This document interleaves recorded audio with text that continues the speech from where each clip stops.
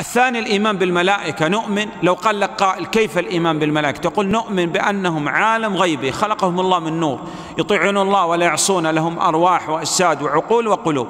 أرواح روح القدس. أجساد جاعل الملائكة رسلا أولي أجنحة مثنى وثلاث ورباع.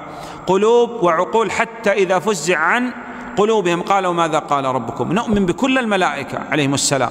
وبما علمنا الله من أسمائهم جبريل وميكائيل وإسرافيل وملك الموت لم يثبت عندنا تسمية ملك الموت بعزرائيل.